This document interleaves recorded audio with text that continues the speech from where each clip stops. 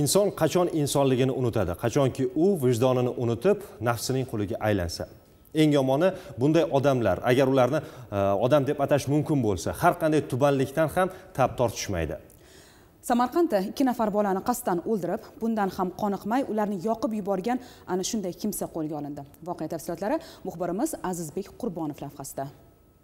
13 mart sanasida samarqand viloyati payariq tumanida yashovchi ikki yigitchaning bedarak yo'qolganligi haqidagi xabarlar tarqadi. Oradan ikki kun o'tib 14 yoshda va 8 yoshda bo'lgan yigitchalarning murdasi alisher navoiy mahallasida yashovchi 1995 yilda tug'ilgan ayolning hovlisidan topildi. Ma'lum bo'lishicha voyaga yetmaganlarning murdasi qasddan o'ldirilib keyin yoqib yuborilgan va shundan so'ng ko'mib tashlangan. Ishga gumonlanuvchi tariqasida jalb qilinayotgan ayol tanishi yigitchalarning onasiga yashirin raqamdan telefon qiladi va uni aldash yo'li bilan uydan chiqarib oladi. Uyda hech kim yo'qligiga ishonch hosil qilgan ayol uyga o'g'irlikka tushadi. Afsuski shu vaqtda jinoyat qurbonlari ya'ni yigitchalar maktabdan yashash uyiga qaytib kelishgan edi va uning qilayotgan jinoyatiga guvoh bo'lishadi. Shunda ayol turli bahonalar bilan bolalarning o'zini yashash xonadoniga olib borib yashash hovlisining o'rtasida yer ag'darish uchun mo'ljallangan belkurak bilan boshiga va bo'yin qismiga urib tan jarohati yetkazib o'ldiradi.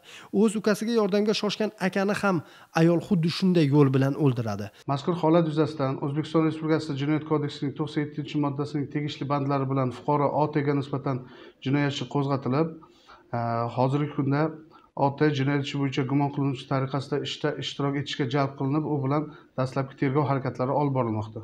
Bir jinoyatga qo'l urib izlarni yashirish maqsadida undanda og'irroq bo'lgan jinoyatni sodir etgan bu ayol endi qonun oldida javob berishi turgan gap.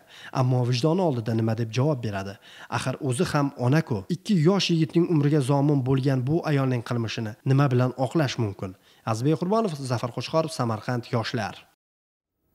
Azamat odatda ayollarga nisbatan nozik xilqat vakili deb ta'rif beramiz. Lekin nozik xilqat vakilasi mana shunday tubanlikka vahshiylikka qo'l urib tursa buni qanday izohlash mumkin?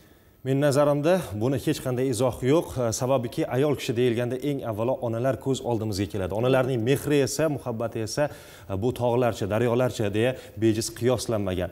Va biz lavhada ko'rgan ayolning ham farzandlari bor. Albatta unda ham onalik mehri bo'lgandir. Lekin afsuski haqiqatni barchamiz ko'rdik. Va eng asosiysi eng asosiysi insof berishni so'ragan bo'lar edik. Albatta.